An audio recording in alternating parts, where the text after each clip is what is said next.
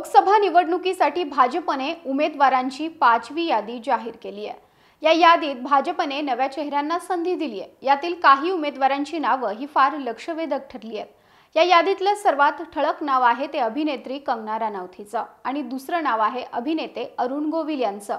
आता भाजपने पहिल्यांदाच बॉलिवूडमधील अभिनेत्यांना लोकसभेच्या मैदानात उतरवलं आहे असं नाही या आधी देखील अनेक कलाकारांनी भाजपात प्रवेश करत राजकारणात एंट्री केली आहे. आणि केवळ भाजपच नाही तर काँग्रेस तृणमूल काँग्रेससह अनेक राजकीय पक्षांनी चित्रपट क्षेत्रातील सेलिब्रिटींना उमेदवारी दिलेली आहे. यातले काही जण चांगले काम करतात परंतु बहुतांश सेलिब्रिटी केवळ त्या त्या पक्षांची गरज म्हणून उभा राहिलेले दिसतात. ना त्यांना जनतेची कामं करायची असतात ना सभागृहातील चर्चांमध्ये सहभाग घेऊन योगदान द्यायचं असतं. मग आपण अशा सेलिब्रिटींना निवडून का देतो हा प्रश्न आहे. असे कोणकोण सेलिब्रिटी आहेत की जे राजकारणात आलेत पण रमले नाहीत तेच या व्हिडिओतून आपण जाणून घेऊयात. नमस्कार मी Madhuri Kumkar for the people न्यूजमध्ये आपलं स्वागत. व्हिडिओला सुरुवात करण्यापूर्वी आपण फॉर द पीपल न्यूजला सबस्क्राईब लाईक व फॉलो कराल. बॉलिवूडकरांचा राजकारणात येण्याचा कल आपण पाहिलेला आहे. राजकारणात आलेले बॉलिवूडमधील सेलिब्रिटी प्रसिद्धीच्या वलयामुळे निवडूनही येतात. काही जण राजकारणात बराच काळ बॅटिंग करतात तर काही राजकारणातून लवकर एक्झिट घेतात. त्यामध्ये प्रामुख्यानं सुनील दत्त शत्रुघ्न सिन्हा हेमा मालिनी स्मृती इराणी सारख्या सेलिब्रिटींनी राजकारणामध्ये आपला ठसा उमटवल्याचं दिसतं.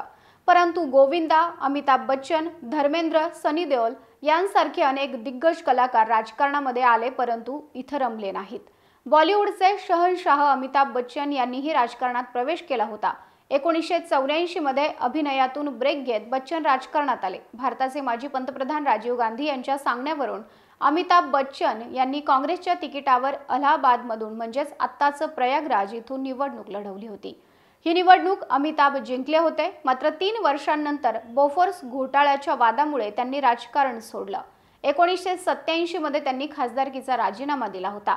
आपण राजकारणी नव्हतो. राजकारणात जाणं हे भावनिक निर्णय होता. राजीव गांधी आणि आमच्या कुटुंबाची मैत्री होती आणि या मैत्रीमुळे आपण राजकारणाकडे ओढलो गेल्याचं अमिताभ बच्चन यांनी म्हटलं होतं. प्रसिद्ध अभिनेता गोविंदा यांनीही दोन हजार चारमध्ये काँग्रेसच्या तिकिटावर उत्तर मुंबईमधून निवडणूक लढवली होती. या निवडणुकीत त्यांचा मोठा विजय सुद्धा झाला होता. विरार का छोरा म्हणून मतदारांनी त्यांना निवडून दिलं होतं पण पुढच्याच लोकसभा निवडणुकीत त्यांनी राजकारणातून संन्यास घेण्याचा निर्णय घेतला. आपल्या या निर्णयावरती त्यांनी दोन हजार तेराच्या एका मुलाखतीमध्ये राजकीय प्रवेशावरती भाष्य केलं होतं. राजकारणात जाणं ही आपल्या करिअरमधली सर्वात मोठी चूक होती असं गोविंदाने म्हटलं होतं. गोविंदा संसदेमध्ये यायचे नाहीत मतदारसंघात दिसायचे नाहीत त्यामुळे त्यांना मीडियाने धारेवर धरलं होतं. त्यामुळेच गोविंदा यांनी राजकारणातून एक्झिट घेण्याचा निर्णय घेतला होता. दोन हजार एकोणीसमध्ये अभिनेत्री उर्मिला मातोंडकरने काँग्रेस पक्षामध्ये प्रवेश केला. त्यांनी मुंबई नॉर्थमधून निवडणूक लढवली होती पण त्या पराभूत झाल्या.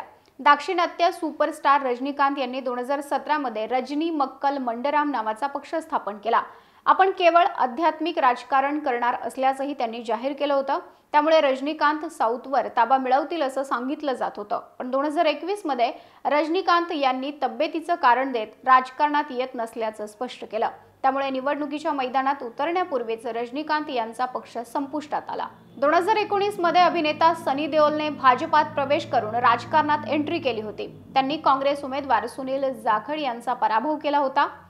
सनी देओल गुरुदासपूरमधून विजयी झाले होते. खासदार झाल्यानंतर सनी देओल आपल्या मतदारसंघात आलेच नाहीत. त्यामुळे त्यांच्यावर जोरदार टीकाही झाली. खासदार हरवला आहे अशा आशयाचे पोस्टरही मतदारसंघात झळकले. मतदारांचा हा रोष पाहता सनी देओलने राजकारणात न येण्याचा निर्णय घेतला.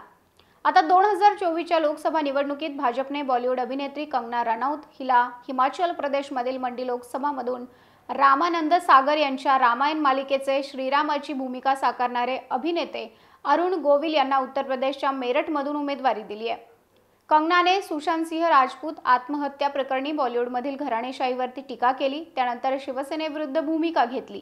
माजी मुख्यमंत्री उद्धव ठाकरे आणि संजय राऊत यांच्यावरती टीका केल्यामुळे कंगना चर्चेच्या केंद्रस्थानी राहिली होती.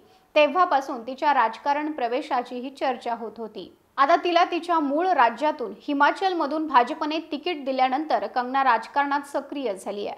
आता राजकारणात ती तिचं नशीब कसं आजमावते हे निवडणुकीमध्ये स्पष्ट होईल.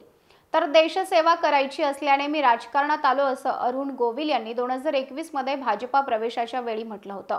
दोन हजार एकवीसमध्ये त्यांना कोणती जबाबदारी दिली जाणार हे स्पष्ट झालेलं नव्हतं. आता त्यांना मेरठमधून खासदारकीचं तिकीट देण्यात आलंय. रामायण या मालिकेमुळे देशासह जगभरात अरुण गोविल यांना प्रसिद्धी मिळाली आहे. नुकतंच अयोध्येत प्रभू श्रीरामाचं मंदिर उभारण्यात आलं असून या लोकसभा निवडणुकीत मंदिर उभारल्याचा मुद्दा प्रचाराच्या केंद्रस्थानी आहे. त्यामुळं श्रीरामाची भूमिका अजरामर केलेल्या अरुण गोविल यांना मिळालेल्या वलयाचा उपयोग भाजपा राजकारणात करून घेणार असं दिसतंय. केवळ भाजपाच नाही तर तृणमूल काँग्रेसनंही भारताचा माजी क्रिकेटपटू युसुफ पठाण याला उमेदवारी दिली आहे.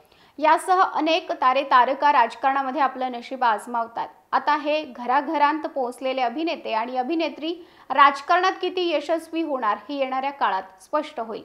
केवळ ते सेलिब्रिटी आहेत म्हणून त्यांना निवडून देणं हे कितपत योग्य आहे? तुम्हाला याविषयी काय वाटतं ते व्हिडिओच्या खाली कमेंटमध्ये सांगा. व्हिडिओ आवडल्यास लाईक करा. असेच नवनवीन व्हिडिओज पाहण्यासाठी फॉर द पीपलला यूट्यूब व फेसबुकवर सबस्क्राईब व फॉलो जरूर करा.